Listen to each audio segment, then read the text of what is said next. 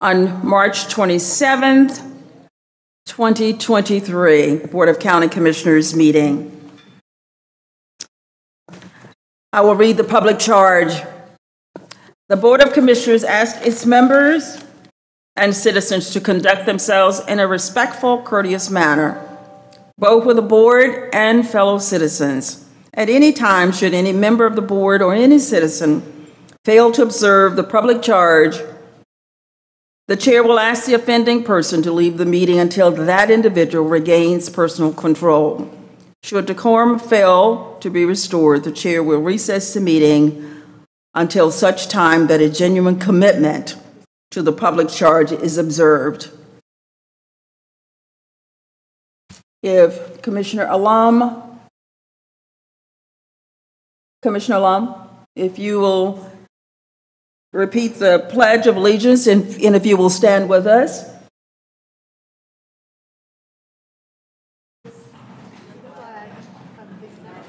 of America and to the republic which stands, one nation, under God, indivisible, liberty and justice for all.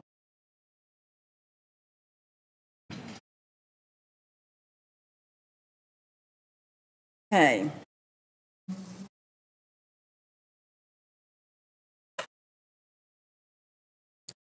Twenty-three two ten, State of the County Address. The Board of Commissioners request, the board is requested to receive the 2023 State of the County Address. And at this time, I will ask the commissioners, county manager, Sorrell, Sawell, and Attorney Andrews to take their seats in the audience so that we can begin the State of the County Address. My eye wants to run water.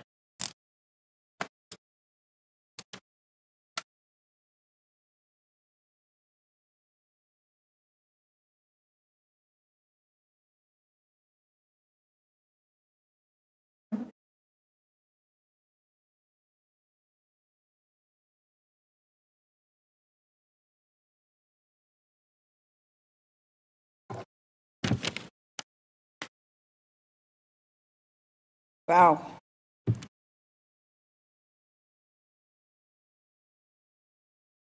Good evening, everybody. So, I'd like to welcome all of you who have joined us in the chamber this evening. And forgive me, sometimes I just want to run water, and it's not crying, not yet anyway. I want to also thank our audience watching on us on Channel 8 or viewing us live, live streaming on their computers. No matter how you're joining us this evening, we want you to know that we sincerely appreciate your interest in the affairs of this wonderful, vibrant community, and that you don't mind taking the time to learn of our work over the past year. As is custom, I am indeed honored to bring you our State of the County address. It is always a pleasure to stand before you and reflect on the successes of Durham County government and to look forward. I need to take a moment to speak about the tragedies and deadly shootings involving our young people that have taken place in this community over the last few days, weeks, and months. Too many of our teens have been victimized by gun violence, and we, the members of the Board of County Commissioners, offer our heartfelt thoughts and prayers to these families. As a community, we can never stop trying to address the many reasons for those deaths and injuries. Let's do what we can to help our community reduce these incidents of gun violence across Durham. My heart goes out to all the families who have had their lives forever changed due to the loss of a child. Thoughts and prayers are offered up, but we can never stop trying to address the many reasons for these deaths and injuries.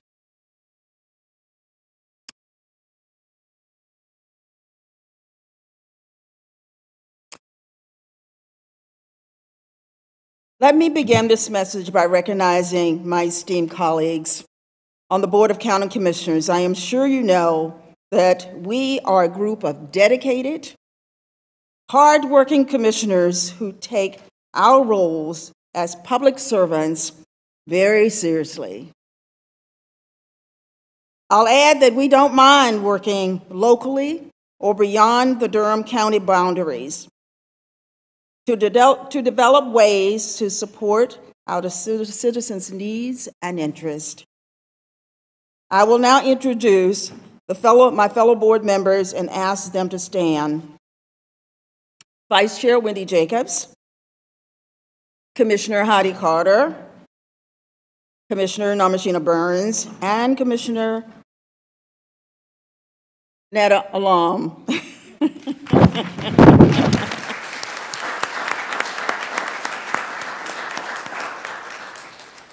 Before I recognize our leadership and employees, permit me to take a moment to, to showcase our work just a bit. I am honored to serve on the board of directors of the National Association of Counties, or NACO. I chair the Healthy Counties Committee, and I'm a member of the Large Urban Caucus Committee. I also was recently appointed to the Local Government Advisory Committee of the United States Environmental Protection Agency, or EPA. Vice Chair Jacobs serves on several NACO committees. She was named a member of the Justice and Public Safety Steering Committee and is a member of the NACO's Familiar Faces Initiative Leadership Network. She also serves on the North Carolina Association of County Commissioners Environmental Steering Committee and the Health and Human Service Steering Committee. Commissioner Allam serves on Durham County's Public Health Board and Durham's Partnership for Children. She's a member of the Women's Democ- Democracy Lab Future Presidents Program, and the Hunt Institute Hunt State Safety Fellowship Program. And I must also add that Commissioner Allam and I were recently named founding members of the Counties for a Guaranteed Income. Commissioner Nimasheena Burns serves as NACO's Vice Chair of Resilient Counties Advisory Board and Vice Chair of the Justice and Public Safety Steering Committee, Juvenile Committee, Juvenile Subcommittee. She is also on the North Carolina Community College Foundation Board and the board chair for Triangle Helping All People Excel. Commissioner Heidi Carter's committee includes the Alliance Health Board, County Commissioners Advisory Committee and Network Development Committee, Triangle J Council of Government, and Piedmont Food Processing Center. As you can see, your elected officials are involved in many endeavors locally, state, and national. In March of 2023, Dr. Kimberly Sorrell, joined Durham County as our first female county manager. I just heard a beep, and we just had a fire alarm a few minutes ago. So when I hear a beep, it's like, do I do we need to go outside again? so her leadership in this first year has been outstanding. As dynamic organizations do, Durham County welcomed new senior staff members. At the same time, we witnessed the departing of several longtime key leaders. Since taking on her role as this organization's leader, Dr. Sorrell has introduced and updated organization chart led by the following, following executive team members. Deputy County Manager for External Affairs, Maurice Jones. Assistant County Manager for Community Stewardship, Julio Delgado. Assistant County Manager for Community Prosperity, Tammy Hall. And Chief of Staff, Shannon Trapp. Rolling, rounding out this team are three familiar faces Deputy County Manager for Financial Affairs, Claudia Hager, Assistant County Manager for Community Well-Being, Joanne Reese, and Dwayne Benson, Assistant County Manager for Community Safety. And let me also add that our Board of Commissioners hired Al Andrews as our new Durham County Attorney. We need a lawyer in the group. He began his tenure in January. At this time, I'd like to ask all our Durham County Department heads to please stand to be recognized. Thank you for all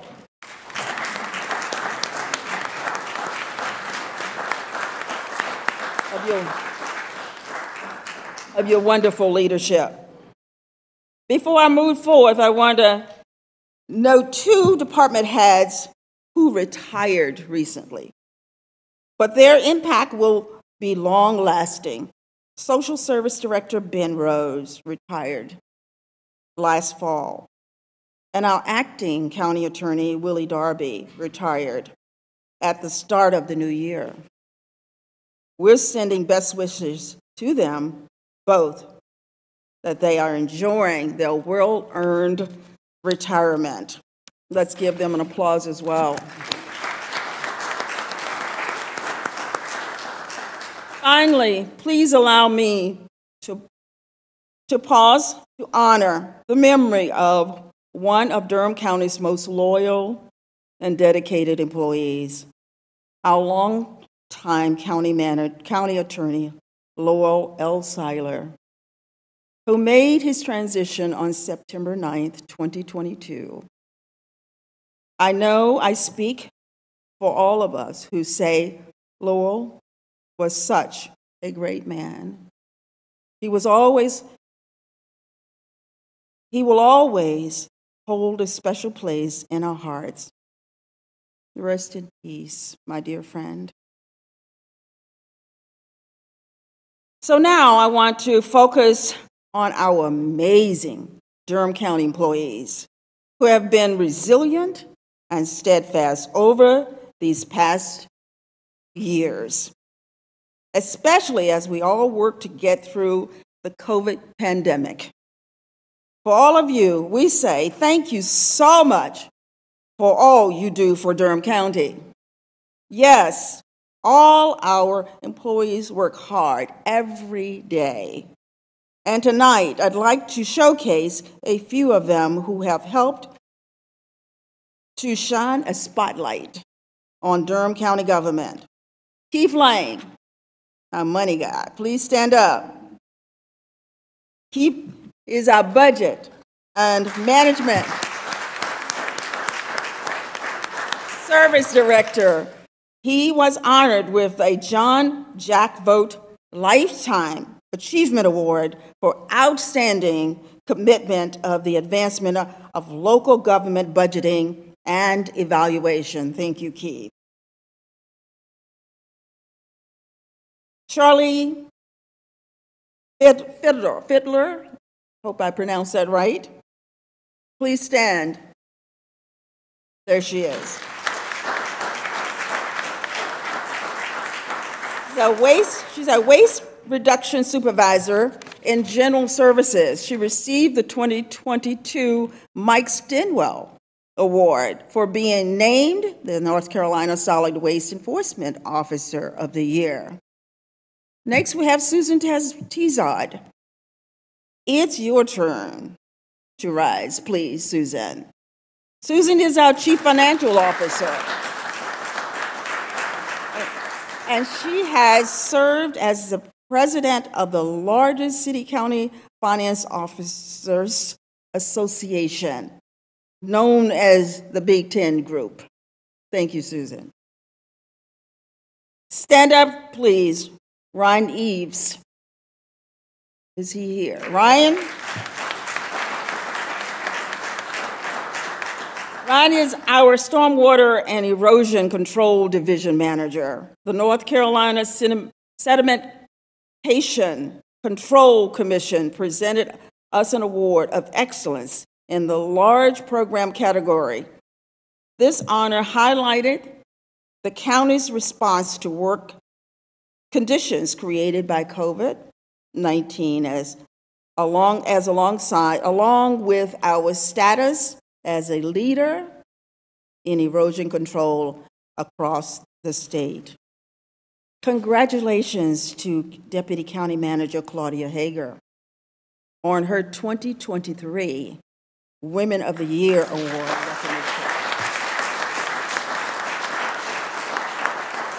With the, with the Triangle Business Journal, Hager is among a class of 25 exemplary women celebrated this year. Women select for this honor have positive reputations in their areas of expertise. They exhibit outstanding leadership and noteworthy accomplishments. These employees certainly represent all our employees and the great work going on every day in Durham County.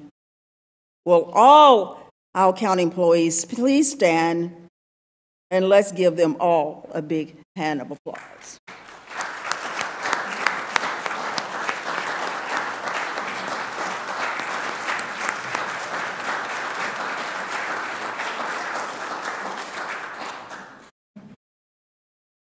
You know, we can we work, county employees work so hard, sometimes we don't acknowledge them enough. Tonight, we just want to take the time to say thank you. Thank you. And I just noticed my mayor's in the building. Thank you. Mayor Elaine is in the room. Thank you for being here.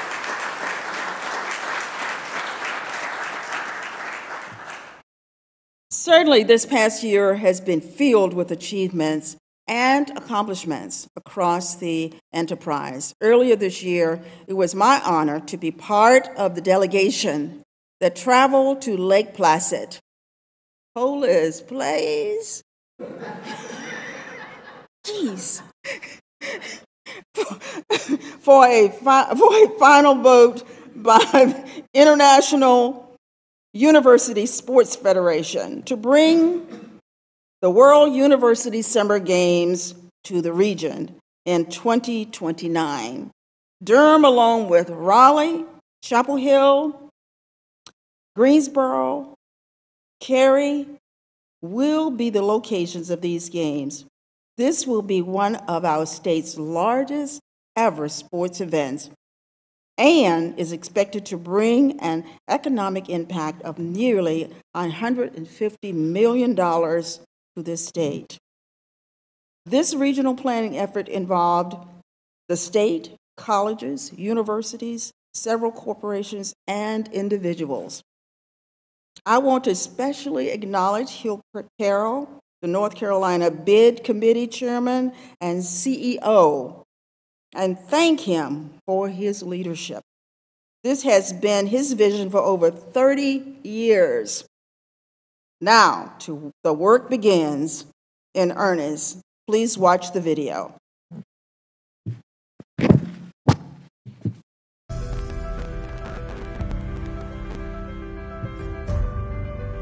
North Carolina's natural beauty, unique attractions, entertainment, and culture will create lasting memories for the participants of the 2029 World University Games.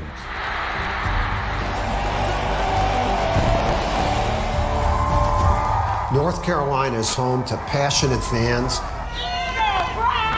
and Central North Carolina is America's leader in collegiate sports championships with a track record of success hosting major sporting events.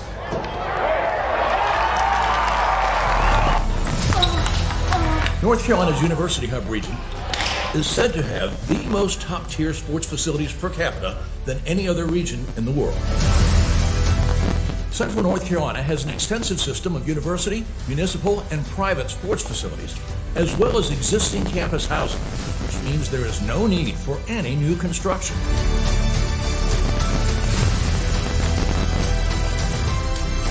The Greensboro Coliseum Complex is the largest sports and entertainment complex in the southeastern United States.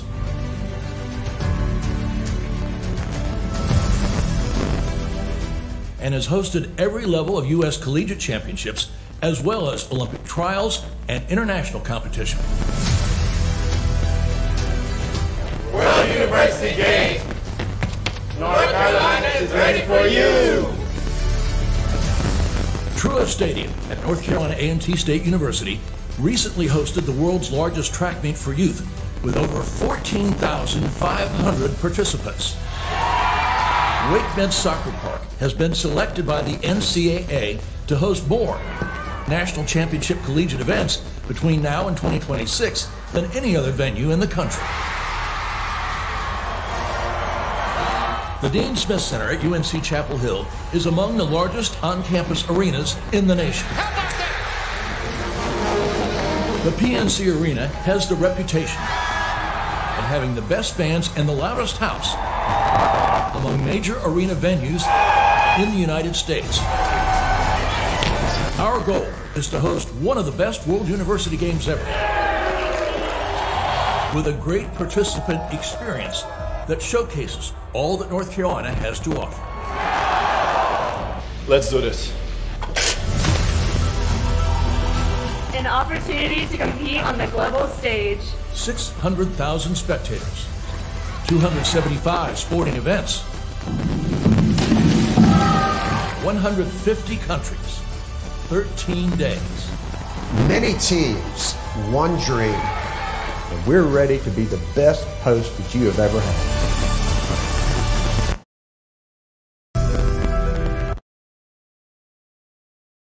Thank you. Many teams, one dream. This will be wonderful for our region. And the purpose of showing this tonight is the work begins right now to get ready, to have our young people participate and be involved in this. The adults will be there, but what we want is our young people to begin to get ready for this, because it'll be extraordinary for them to be- be participating in it. Our Board of Commissioners, along with the County Manager's Office, received the North Carolina Cooperative Extension Partnership Award. This honor was presented to the annual North Carolina Association of County Commissioners Conference. The County Partnership Award recognizes local governments for their outstanding partnership with the North Carolina Cooperative Extension. This award noted the county's value for collaborative leadership and innovative approaches from the staff that benefit Durham County residents. For the second year in a row, we received multiple awards from the National Association of Counties.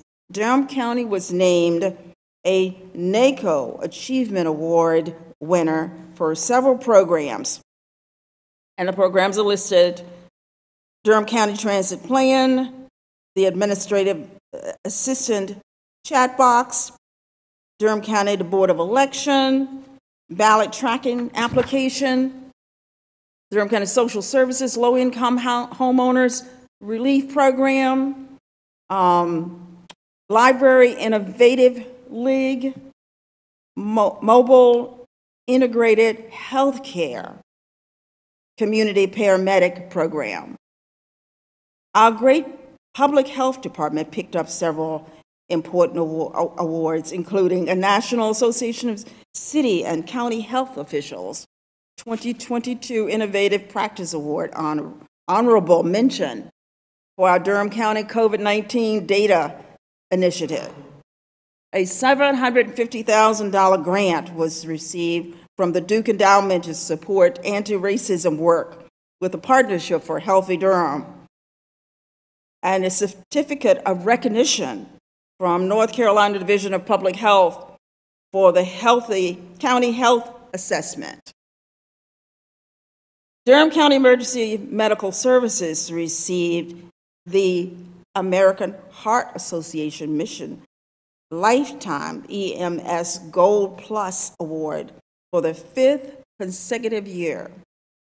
This award is given to EMS services for implementing quality improvement measures for the treatment of patients who experience severe heart attacks.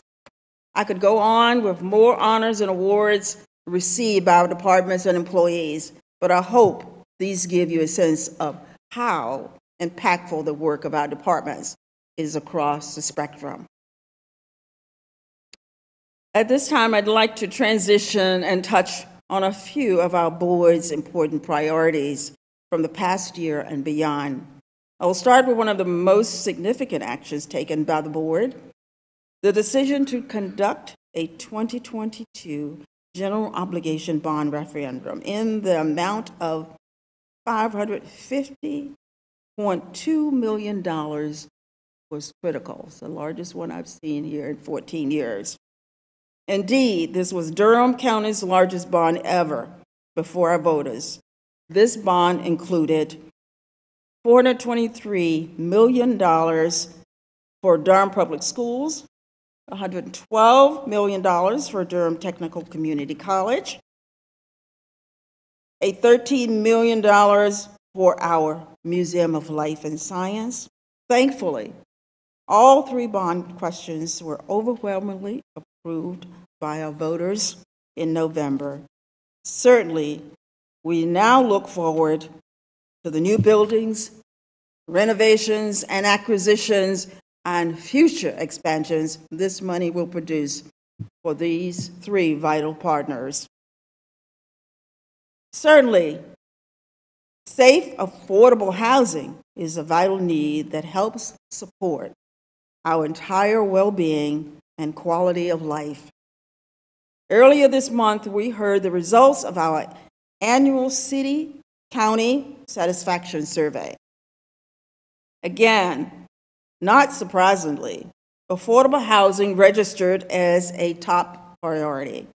Durham County has a commitment to affordable housing, and we are developing two projects on East Main Street. The 300 East Main Street project includes 110 units of mixed income affordable housing and a parking garage.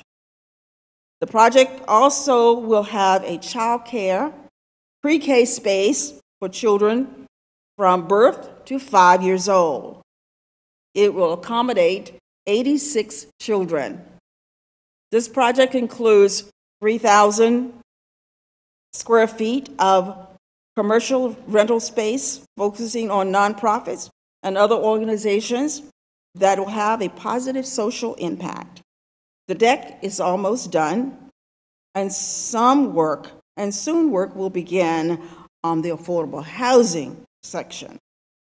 Our 500 East Main Street housing component has 195 units of mixed income affordable housing and a 246 unit market rate housing wrapper with commercial retail space.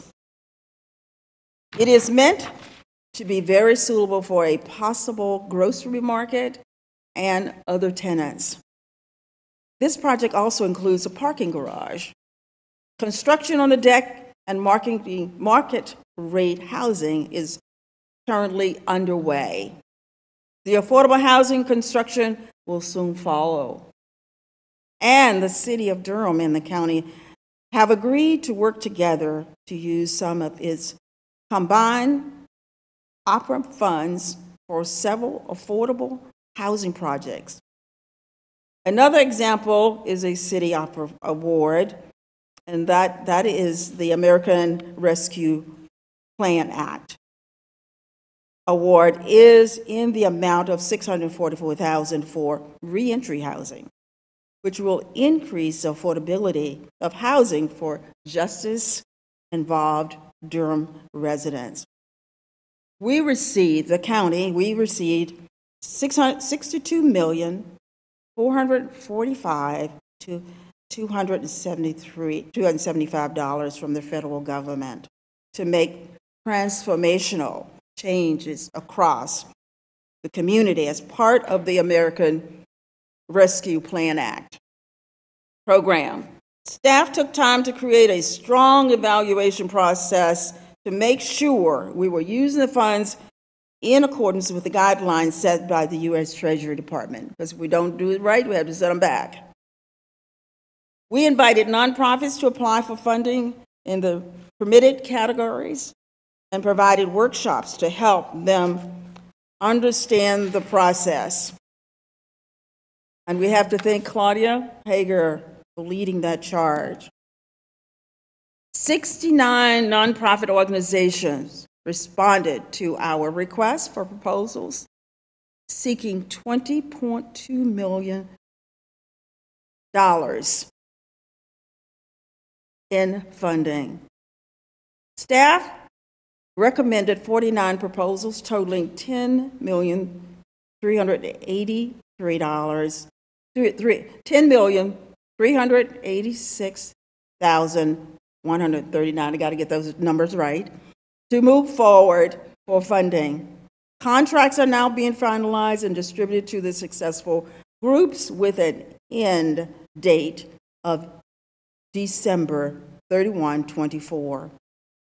We awarded fund, funding in several focus areas that align with the county's ARPA framework, and we note them on the screen. If you, I won't read all of those off, but they're on the screen. And more information is on our website uh, for a full list of the nonprofits. Let's talk a little bit about our community safety. In an effort to holistically address community safety, our board supported the establishment of a new department. It is a community and prevention and support service department. This new department brings together three program areas that were previously operating separately Bull City United, My Brother's Keeper, and Project BUILD. The the department's focus is to provide coordinated and problematic, programmatic support and system level strategies in partnership with the community to promote residents and community safety and prosperity. In September of 2022, the department hired its first director, Crystal Harris. Here are a few highlights from each division. Bull City United entered into an interlocal agreement with the city of Durham to expand its work to reduce gun violence. In census tracts that were experiencing higher firearm related incidents. We don't get anything done by ourselves. The collaboration between the city and the county is amazing. The staff was expanded from 7 to 25. Bull City United received a Byrne Justice Assistant Grant under the Department of Justice in an amount of $250,000. Through this grant, this division will utilize this critical community project to examine cross-systems approach to address gun violence and offer recommendations for promising practices and sustainable solutions. Now, my brother's keeper secured a program manager after the position had been vacant for nearly two years. Durham, my brother's keeper, is now utilizing the national MBK model to continue the work to improve life and career outside out career outcomes for young boys and men of color. Now, Project BUILD received an additional $25,000 from Juvenile Crime Prevention Council, reallocated funds to expand skill building, building opportunities for its participants. Beginning last month, the program implemented curriculum-based groups sessions for its participants. Now we've been involved with the Boys and Girls Club. The Boys and Girls Club, the county is participating with the Boys and Girls Club. In Durham and Orange counties to expand tutoring services, including an initiative that collaborates with Durham County Library, operates to expand homework to help the, through in-person and remote learning options. The Boys and Girls Club of Durham and Orange counties was recently recognized by the National Headquarters Boys and Girls Club of America as one of the highest performing clubs in the Southeast region. There are over 3,700 boys and girls clubs that serve more than 4.4 million youth across the nation. For two consecutive years, the Boys and Girls Club of Durham and Orange counties have been identified by the National Office as the best in North Carolina for two consecutive years in student performance. Durham County's investments in this operation will expand evidence based support services for youth and their families. Let's talk a little bit about Hayti Reborn. Last fiscal year, Durham County government and the city of Durham established an interlocal agreement to expand community-based programming coordinated by county's community intervention and service county and support service department. The Hayti Reborn Justice Movement serves as an umbrella organization that work is that works in concert with existing community partners to help develop and coordinate strategies that, that interrupt the cycle of violence while concurrently increasing the health and prosperity within marginalized communities. The organization will coordinate with a network of nonprofits that will provide services to job seekers, including former justice involved and or gang involved persons. In January, our board allocated $2 million to leverage federal funds awarded by Congress in the amount of 700,000 to support the Hayti Reborn Justice Movement efforts we must thank our representative, our former representative, David Price, for ensuring that these funds were approved so that this important work can now continue. In other efforts to address community safety needs, Durham County Sheriff Clarence Birkhead collaborated with celebrated Hillside High School drama director Wendell Tabb to produce a play called state of emergency. The goal of the play, which was performed for an entire week, was to address gun, school gun violence and engage in honest dialogue about the reasons and remedies for the troubling escalation in school violence occurring locally and across our nation. I was hastened to add that Governor Roy Cooper named our sheriff to the North Carolina Task Force for Racial Equity in Criminal Justice and to the Governor's Crime Commission. With these appointments, our sheriff is using his influence to address key issues, legislation and policy changes to help improve our safety and quality of life. We will continue our focus on working collaboratively to help reduce incidents of crime and violence across our community. And you know, we have to talk about our master aging plan, about our seniors. Because you know, if we live long enough, all of us get there. If we're not at that already. The work around Durham County's master aging plan is positively moving forward. Much like communities everywhere, Durham is experiencing a growing number of older adults, and those adults are living longer. Our board is committed to bringing resources to bear to ensure that our seniors age with dignity and enjoy a comfortable lifestyle in their golden years. The Master Aging Plan Steering Committee is in the process of convening the livability working groups to address community support and health services, senior hunger and nutrition, social participation, respect and social inclusion, elder abuse, neglect and exploitation, and housing. As committees are being formalized, action plans with strategies to address the key components will soon emerge.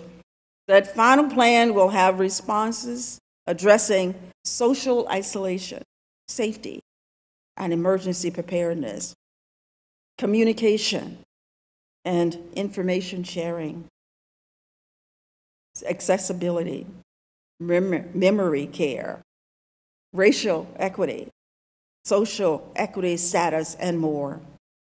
We thank the steering committee for taking on this important issue and look forward to the results they will bring forth.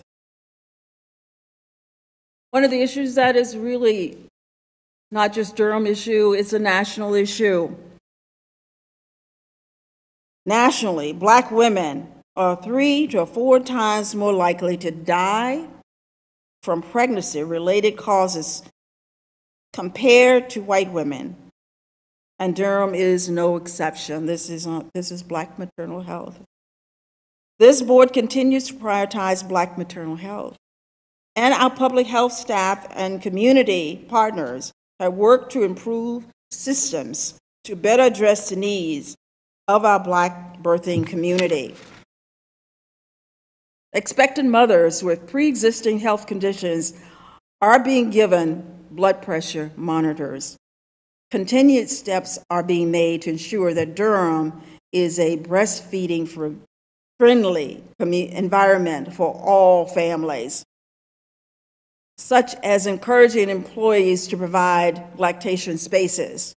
To further increase maternal health support, we're actively seeking a women's health nurse navigator to better align this work and looking for funding to staff in house ultra sonographics and doulas at our maternal health clinic. Durham County Government of Public Health continues its collaboration with Born in Durham that is focused on maternal and infant health outcomes with a goal of eliminating prenatal inequities in Durham County. Durham County Department of Public Health has partnered with Guilford County Health Department, North Carolina Department of Health and Human Service, and other key stakeholders to convene a regional Black maternal health and infant mortality conference on April 14 through 15. Certainly, we will continue reaching out into the community to strengthen existing partnerships as well as establishing new partnerships to continue the pursuit of a healthy community by focusing on the women and children of Durham County. Mental health. Our community mental health hubs. Durham County is certainly exploring ways to ensure more entry points for uninsured and underinsured residents who typically may not have access to mental well being. Supportive services with licensed clinic, clinician, clinical professionals. We are working on such plans through partnership with faith and community based organizations, which are central in Durham County I'm excited to note that very positive conversations are taking place with potential funding partners who are supportive of this concept, and we hope to launch this program very soon. And we'll talk a little bit about the national opioid settlement.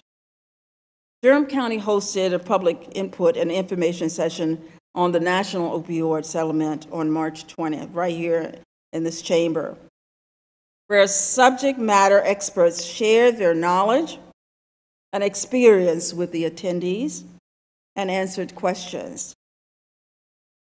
A diverse group of stakeholders came out to listen and to provide valuable feedback. The feedback gathered from the session and a community survey, which closed at the end of January, will be used by the county commissioners to prioritize how to spend $11.6 million in funding over the next 18 years from the settlement. It will also guide decisions on how we address the opioid epidemic, support treatment, recovery, harm reduction, and other life saving programs and services. So we've got a lot of money to spend. And not as many, it doesn't, it's not as long as we may think. Now we'll talk a little bit about our tax assistance, taxpayers assistance. The long-term homeowner relief program was created to assist residents who are at or below 30% of the area median income with their tax payments. In its first year, the program received 339 viable applications. Of that total, 200 applications were approved, and 142,952 dollars helped our target homeowners. I'm delighted to know that this year the program received a 28% increase in applications.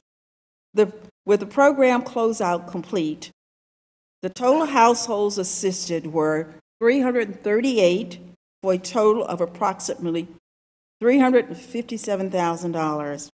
Certainly, this is a benefit to those homeowners that we want to continue be, being homeowners. Our economic development success continues. Since the beginning of the new year, the board has approved three new incentive based community partnerships Cadillac, Cadillac, Eli Lilly, and Kemp Power. Continually, these three partners total more than $350 million in new investment and 902 new jobs to Durham County, bringing in more than $2 million. On average, in tax revenue annually over the first five years. In sum, all three companies have made aspirational commitments of more than $42 million in new spending with minority and women owned firms. Power, an electric vehicle charging company, will be bringing more than 360 jobs that are accessible to high school graduates and associate degree holders, paying an average wage of $50,000 plus benefits. They are also working with Durham Tech on innovative new programming to help to develop a pipeline to train students and plug them into these new jobs within a growing industry. Thanks, JB. Eli Lilly's expansion will support an increased demand for their products that treat diabetes and create a maximum of 100 jobs. The, the company estimates that approximately 90% of the jobs created by this project will be entry level roles that can be hired in Durham Tech's BioWork certificate or a high school education. All jobs pay an average wage of $56,000 plus benefits. And we're also working with our small business. Durham County and the City of Durham partnered with Small Carolina Small Business Development Fund to provide low-interest loans to Durham small businesses that were impacted by the pandemic. The loan fund pairs access to capital with technical assistance so that eligible applicants have the best opportunity for success. To date, the loan fund has awarded 52 loans totaling more than 1.2 million. 73% of those firms are minority owned. 48% of, of those firms are women owned. And earlier this month, the board approved funding to purchase the Streetwise MBA program offered through Enterprise Incorporated with a small investment of $57,000. This program will continue another phase of the county's initiatives to support our community small business owners. Using resources, education, and support over a seven month period. This is intended to help sustain and grow their businesses. Small businesses located in some of our low to moderate income communities that are minority owned will be audience for these programs. We will bring in resources to equip them for success and help them build capacity and master the tools needed to apply for local and state government contracts. Our board supports our ongoing outreach reach to underutilized businesses. We've targeted quarterly training and networking events. Many of these events have been collaborative efforts with the City of Durham, Durham Public Schools, the Institute, and other organizations. For larger construction projects that are managed through construction management, management at-risk construction teams, coordinated efforts occur to co-host informational bid, pre-bid, and outreach sessions. In February, Durham County Commissioners and staff traveled to Washington, D.C. for the annual legislative conference of the National Association of Counties, or NACO.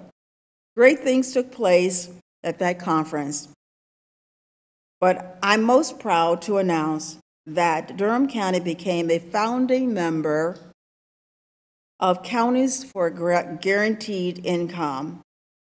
This initiative includes 15 founding counties and 18 founding board members, including myself and Commissioner Allam. Commissioner Allam spoke eloquently at the White House with President Biden's staff regarding funding for a national guaranteed income program and sharing important points about how much families need their assistance. This is a program that we can start, but we need the federal assistance to continue it. Counties for Guaranteed in Income follows in the tremendous success of Mayors for a Guaranteed Income founded by former man, may, mayor of Stockton, California, Michael Tubbs. So now, our goal as founding members of CGI is to implement cash based policies at the local, state, and federal level. Those of us in county government will join this effort and receive technical assistance for new pilot programs across the country. This extra money can be critical to help with food, utilities, and household expenses for children, or even paying down debt. Now, this, this really, this part, that we just love every year is our budget. This is our 2023 budget. At the end of it all, the Board of Commissioners prioritize priorities, priorities are reflected in our annual budget. Our approved budget is $793 million, $563,860. The property tax rate remained unchanged at 72.22 cents per $100 of valuation. Durham Public Schools received $177,151,627 in funding, an increase of 10.95 million from last year's budget.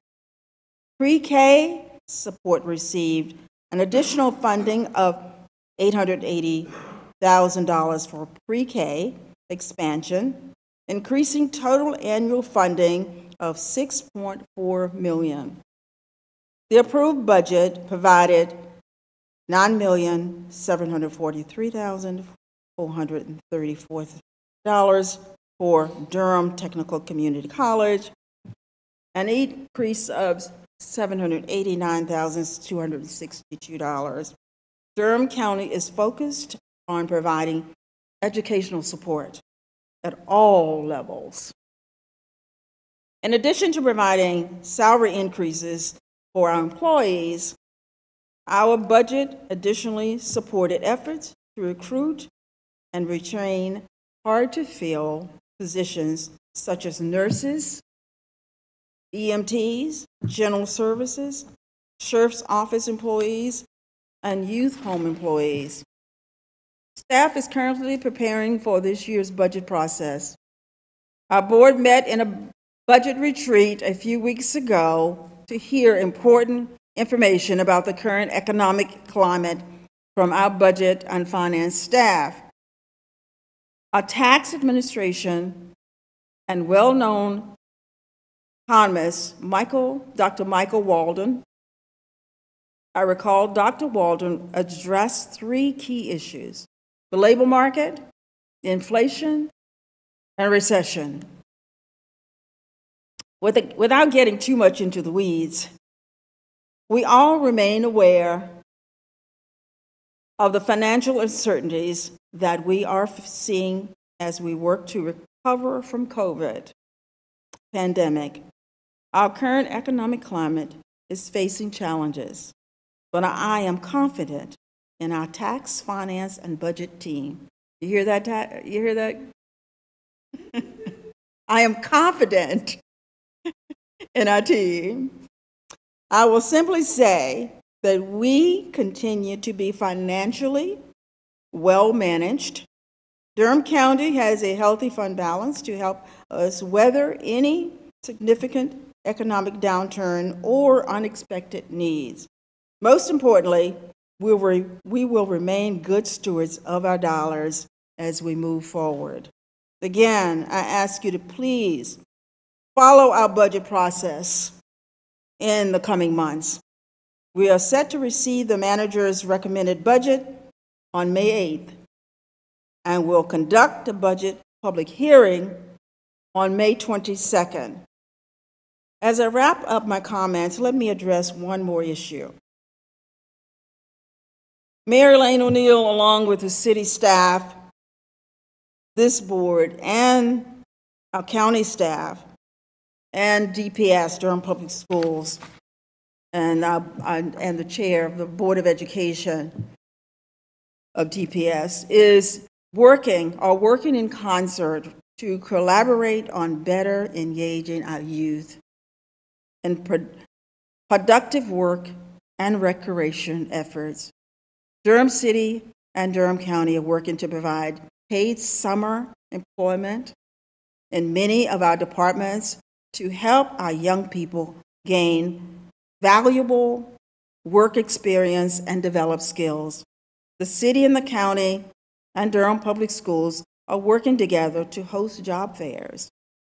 An upcoming job fair is being held on Saturday, April 22nd at Walltown Recreation Center.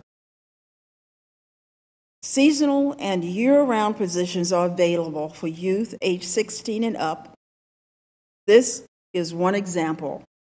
The city, county, and Durham Public Schools are committed to enhancing or creating as many summer activities as possible through parks and recreation and other venues, including nonprofits, to give our children places to play, learn, and be safe during the summer months. If you have ideas, jobs, intern- internships, or would like to help, please let us know.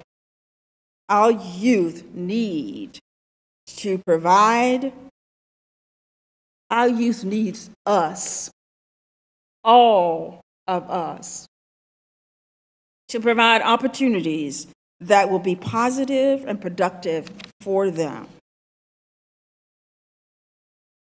And as I close, on behalf of the Board of Commissioners, it has been my pleasure to work on projects and initiatives that improve the quality of life for all our res- residents.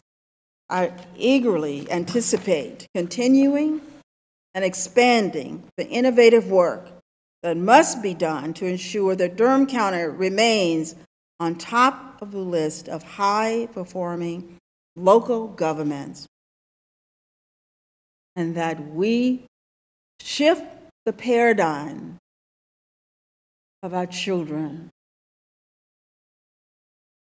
Shift the paradigm of what's happening in this community with our children. Thank you for your attention and have a great evening.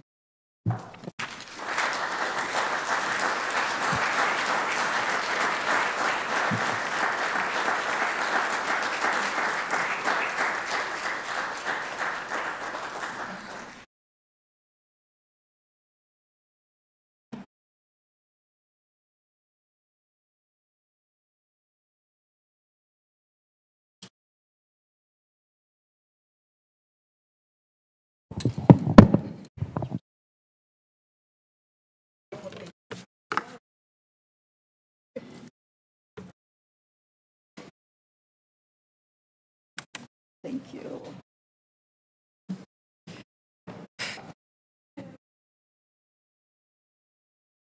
Water.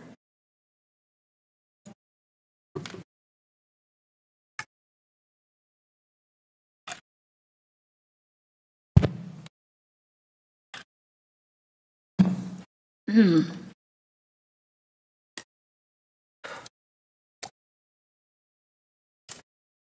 Hey, Commissioners, thank you all again for your patience. Um, Are there any adjustment, agenda adjustments from the board? Hearing none, we will move on to announcements. Uh, Ms. Wallace, are there any announcements? Yes, ma'am, Chair Howerton, I will read the announcements that are published in this evening's agenda. Apply for summer internships, management internships, and fellowships with the Durham County. Durham County government is looking for Durham County teenagers, college students, and recent graduates of our local universities to apply for summer internships, manager internships, and management fellowships. Get your local government career off to a fantastic start by joining us. There is a website, I'm sorry, a link, um, www.dconc.gov. So if you go to the county's website, you'll be able to access uh, the, the information pertaining to the internship. DECO Department of Public Health COVID-19 Vaccine Clinic Hours at Durham County Department of Public Health. uh, Walk-ins are now welcome. Uh, Doses are Mondays, Wednesdays, and Fridays from 9 a.m. to 4 p.m., closed from 12 to 1 p.m. Uh, The clinic is closed on Tuesdays, Thursdays, and every weekend. You can visit decopublichealth.org backslash COVID vaccines for additional information. Master Gardener Plant Festival on April 1st. Spend the morning with Durham County Cooperative Extension's Master Gardener, volunteers, and community partners learning about all things plants, And the first 200 attendees can choose a free plant to take home at the Master Gardener Plant Festival on Saturday, April 1st, from 10 a.m. till 12 p.m., located at 721 Foster Street. You can also get a preview of some of the plants that will be offered for purchase at the following week's plant sale. There is a link there for additional information. Football, frisbee, festivals, and more at the Durham County Memorial Stadium. Did you know that the Durham County Memorial Stadium hosts a variety of athletic and community events each month? In April, there are ultimate frisbee, men's and women's soccer, track and field, North Carolina Central and Shaw University spring football games, the Little River Community Complex Fair, Special Olympics, and more. There is a link that will take you to a calendar that displays all of the events as well. Public feedback needed for sewer system development fees analysis. The public is invited to provide their input regarding upfront sewer system development fees for the Durham County customers tributary to the Triangle wastewater treatment plant. Residents may submit their comments to utilities at dconc.gov and include system development fee analysis in the subject line. There are two links where you can review the draft copy um, on our website. And lastly, third annual Library Fest is coming in April. Durham County Library and the Durham County Library Foundation will host the third annual Library Fest, the storytelling edition from Monday, April 24th till Sunday, April 29th. The library is excited to feature headliners including Terry McMillan, Jet, Jetco, uh, Chef Sean Sherman, and Sheila Turnage. All programs are free, but some require registration. Visit the Durham County Library events calendar for additional information and search Library Fest. Board, that concludes the announcements that are in our agenda this evening. Thank you, Ms. Wallace. We are down to, Commissioners, we have um, before us a March 6th work session minutes and March 13th regular session minutes. Are there any comments or edits to this minutes? Hearing none, I will ask for a motion to approve. Madam Chair, I make a motion that we approve the minutes as as written and stated. Second. It's moved and properly second. All in favor? Aye. Motion passes five to zero. Um, we have one ceremonial items, twenty-three, two, three, four, resolution in support of school meals for all North Carol, all in North Carolina. So the board is requested to approve the resolution. Um, and as, I will ask Commissioner Carter if she will please read the resolution. So it would be my pleasure to read this resolution. The Durham Board of County Commissioners resolution in support of school meals for all children in North Carolina. Whereas right now, children in North Carolina are held back by hunger. And whereas we can improve student outcomes and strengthen our communities by making breakfast and lunch available in North Carolina public schools at no cost to families. And whereas one in six children in North Carolina experiences hunger on a daily basis, and in our most rural counties, as many as one in three children experience hunger.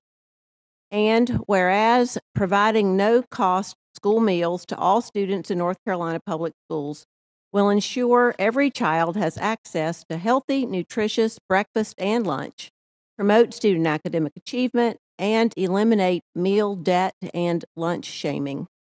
And whereas no child should go hungry, yet every day in North Carolina, almost 400,000 kids don't have enough to eat. And whereas studies show that providing students with healthy meals at schools makes them more attentive and engaged in the classroom, leading to better grades, higher attendance rate, and higher graduation rate. And whereas nearly 20% of children in North Carolina who lack access to regular nutritious meals likely do not qualify for free or reduced price meals at school.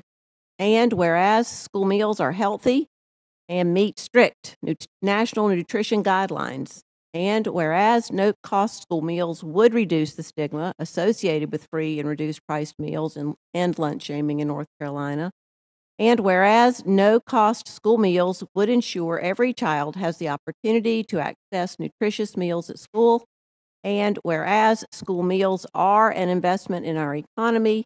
And whereas we all do better when all children have healthy meals.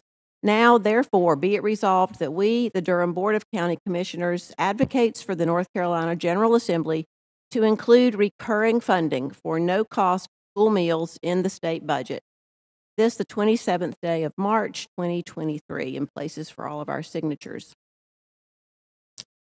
And Madam Chair, I assume we will um, approve this resolution and then we'll be sure and send it to our local delegation.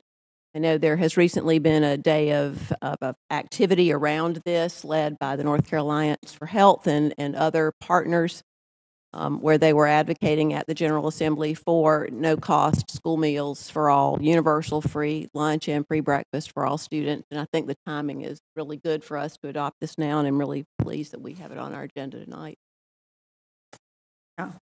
So thank you. Any other comments from commissioners? Commissioner Jacobs? Yeah, and I think we should also share this with the school board as well. Absolutely, definitely. Yeah, Thank I'm you. sure that they will um, support this as well. Be glad that we're passing the resolution. Thank you. So, uh, Monica, do we all need to sign it and then you send it to the school? And, I did get signatures, um, and at the board's request, I will make sure that it is emailed out tomorrow morning. okay, all right, thank you. All right, so, but, and and it doesn't have to be, it doesn't need a vote or anything? No, ma'am. No? No. Okay. All right, thank you, Commissioner Carter. Now we're down to our consent agenda. We have five items. There is one citizen that wants to speak on, on one item here. Um, So what I will do is ask, are there any others that commissioners want to speak on or pull? If not, I will ask for a motion to approve everything except 230195.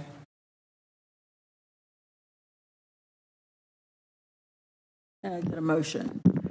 Madam Chair, I'd like to make a motion that we approve the consent agenda items um, in totality, absent twenty-three 195 Thank you. Second. Okay, it's been moved and properly second. All in favor? Aye. Aye. Motion approves um, five to zero. So um, we have a citizen that, um, Gwen Silver, you would go to the podium. Okay, you're over here, okay. And state your name and address. Good evening. I didn't ask to pull that, that matter. I just wanted to speak on it and Okay. commend the Environmental Forward, uh, of Environmental Affairs Board for the work that, that they did last year. But I'm speaking on it because um, they have a goal to address environmental changes in the county. And I'm not sure if they're aware of the changes that developers have asked to change the, the Unified Development Codes. And those pro- proposed changes are called the Simplifying Codes for Affordable Development, called SCAD, which is um, being reviewed by the City Council right now. Those changes are many and they are major. On November 12th, in 2015, I attended the Little Lick Creek Watershed meeting at East Regional Library, and I received the Volume 1 of the Protecting Our Waterways, Protecting Our Water, and that was a fact sheet about the Little Lick Creek Watershed Improvement Project. It reads in part, the majority of these creeks are experiencing moderate to high stream bank erosion, which is likely a result of increased stormwater runoff volumes caused by increased urban development. And as we all know, our county is developing rapidly. This fact sheet states that 43% of stream quality was rated fair, 52% was rated poor, only 5% was good, and none were rated excellent. I urge the City Council to have the Environmental Affairs Board review and weigh in on the SCAD for its impact on rural Durham County and the quality of the Little Creek and other streams. This is about environmental stewardship and community prosperity. Yes, development is inevitable. We know that.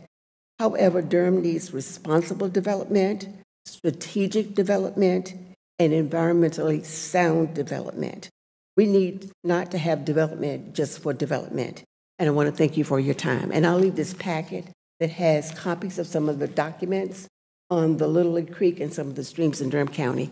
Again, thank you for all the things you've done in the past year and all the good things that Durham County is doing. Thank you. Thank you. Any other comments on this item, Commissioner Jacobs? Um, I, I just wanted to respond to the citizen comments. Commissioner Carter, you're on the Environmental Affairs Board. I think that's an excellent suggestion. Um, if you could uh, request that they do uh, look into this issue and make their uh, recommendations to us, because that will be coming to our board. Thank you. Sure. I think that, that that's a very good suggestion as well. You have Thank you, something, Ms. Silver. something else you wanted to say? This uh, item was on the May 20, um, March 20th City Council agenda, and it's been uh, delayed until May 3rd, so it's Yeah. a very short window. But I'll leave the information with the clerk. Thank you again. Thank you. Thank you. So are we approving this tonight, or are you asking us not to approve it? What? Okay, okay, all right, thanks. All right, anything else on this one, on this item? Uh, I move that we approve that item, the EAB report, and with the understanding that based on this comment, I will uh, re- relay the request to the EAB chair, asking for input to us about this SCAD. All right. Second. Been moved and properly second, all in favor? Aye. All right, passes five to zero. All right, we are down to uh, boards and commissions.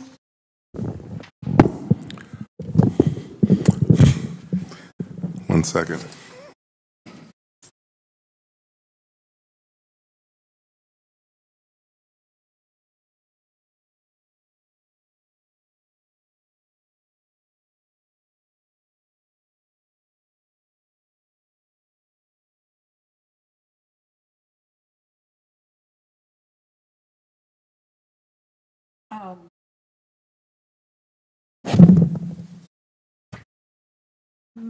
Madam Chair? So I understand that Commissioner Burns has a motion uh, regarding the, um. Madam the Chair, I have a boards. motion.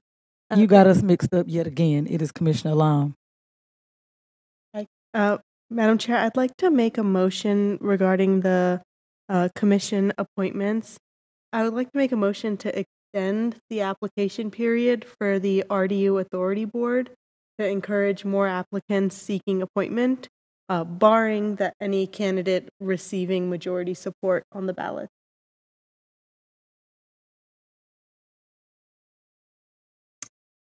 Uh, There's a motion on the floor to extend the process of this particular Raleigh Durham Airport Authority. Barring any candidate having majority. Okay. So if a Um, candidate has majority today, you're saying um, you do not want to extend it, and is that, is that, the mo- mhm. I mean, if, is there, since there's two vacancies, um, if one candidate make, has a majority, then they would continue to be appointed. If two candidates don't have a majority, then we keep it open. two- and if two do have a majority, then that, mhm. um, I- I'll second it. I'll third it. Um, So it's been moved in second. I'd like to hear a response from the clerk before we uh, vote on it. Is there a problem, is there any concern with doing that, or just No, ma'am, it's the board's pleasure. If the board would like to extend the application period, we can definitely do that. Okay, all right. Uh, Commissioner Jacobs? I just wanted to know, in terms of process, we usually vote first and then make decisions about what to do afterwards. So just want to note the, in terms of process. I, I want to clarify in terms of process, who up here has not voted? We voted. So there is a motion and a second on the floor. So we'll have to take action, either vote or rescind the motion.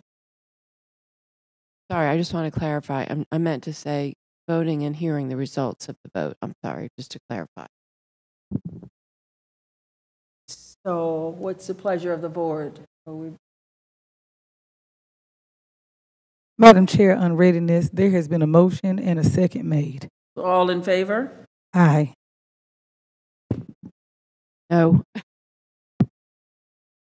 So we got how many ayes?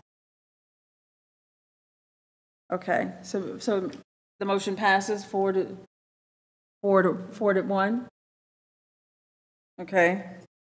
That this item will be moved, will be re, okay.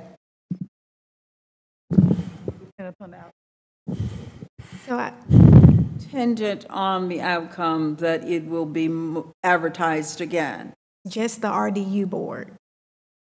Okay. All others, if there is a consensus on the vote, the attorney will, will call those names, but if there is not a, a majority for the RDU board, if I'm correct, then the RDU board will be, um, advertising will continue for the RDU board only. Gotcha. I mean, I did vote for the RDU board. I assume we all voted. Yes.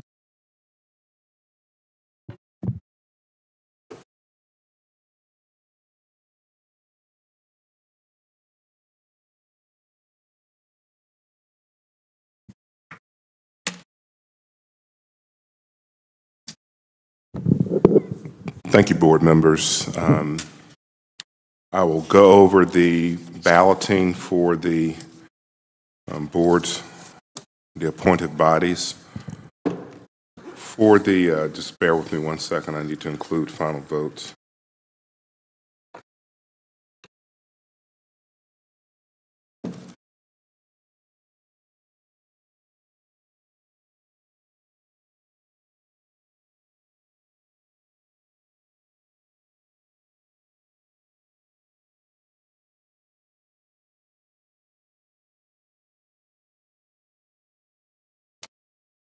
One second.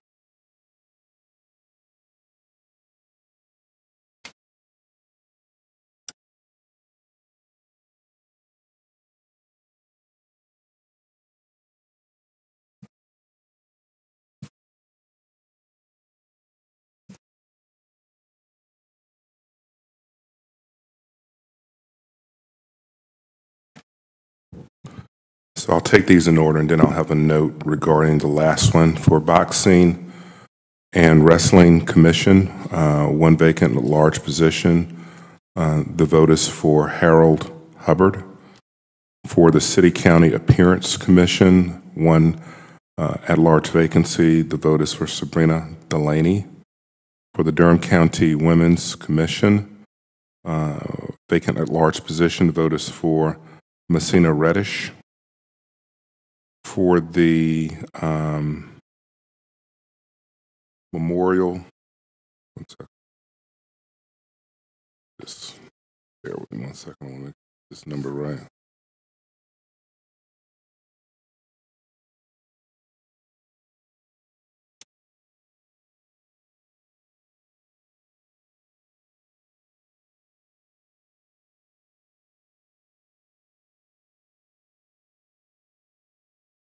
For the Memorial Stadium Authority, one vacant at large. to vote is for Jonathan Leach. And now for the Airport Authority. So we have a vote count, and I think the motion was, if I, I don't want to mess this up, so I want to make sure I understood what I heard. What I heard is that you want the vote read, and then you want it to be delayed if there is not if, if there are not two candidates, is that what I heard, or did we vote to, My, the, Repeat your motion. I, I, she didn't say if it was two candidates. She said let me if read it again. So the motion was to extend the application period to encourage more applicants, barring any candidate that does receive majority support on the ballot. So if a candidate, since we're voting for two, I guess my intention for the motion, which I should have been more clear about, was, you know, if one of those two positions gets filled, then we fill that tonight. If both don't get filled, then that second one, we extend.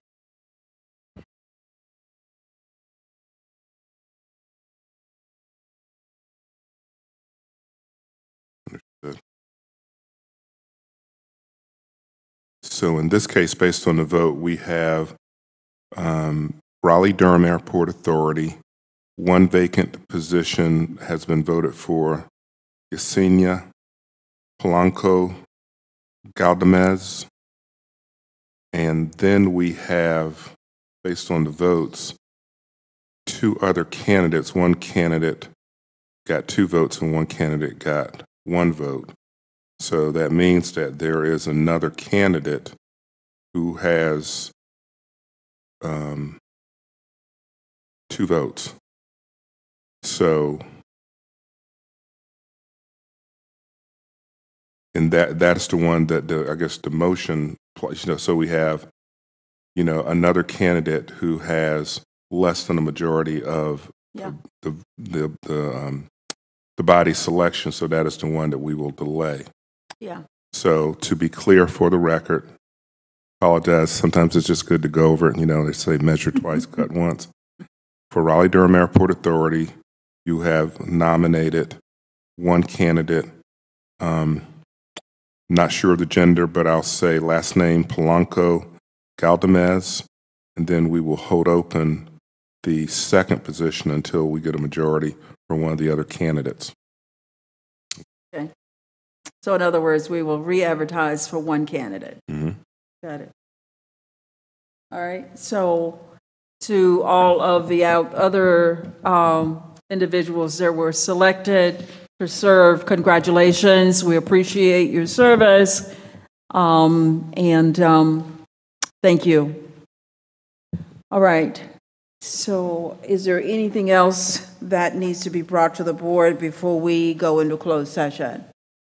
Any other business? Hearing none. Thank the audience for watching and uh, being with us this evening. And at this top time, the board is requested to adjourn into closed session for the following: to consider the qualifications, competence, performance, character, fitness, condition of appointment, or condition of initial employment of an individual, public officer or employee, or prospective public officer or employee, or to hear or investigate a complaint, charge, or grievance by or against an individual public officer or employee pursuant to GS 143-318.11A6. Um, To, the other one is to consult with an attorney employed or retained by the public body in order to preserve the attorney-client privilege between the attorney and the public body in the matter of, is that Herma, Hermana Miles Bonkers? Mina Bumpus.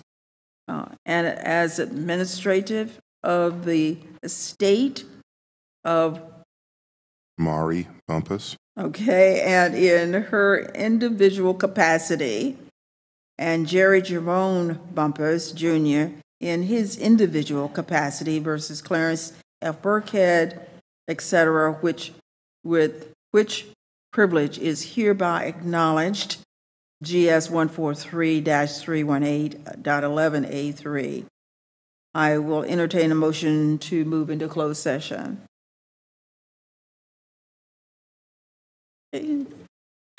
Second? There's a second, okay.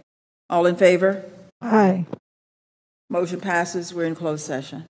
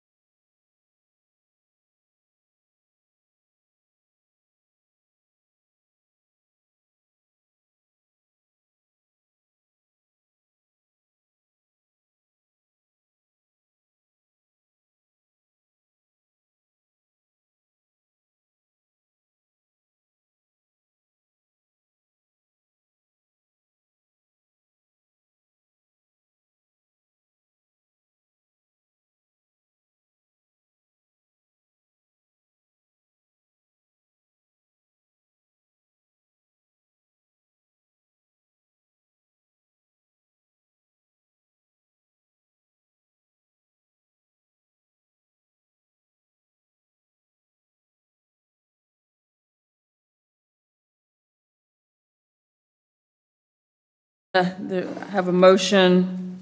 The motion is to approve a starting salary of, of 170,000 for our new DSS director, Maggie Savitid Castine. Sab- Savitican. Savitican. Savitican and is that right? Okay, so um, if I could get a motion, So moved, Madam Chair. it's been moved Second. and properly second. All in favor? aye. Pass, motion passes five to zero. Okay, is there anything else? Any other business? If not, I ask for a motion to adjourn. Move. All in favor? Aye. We are adjourned.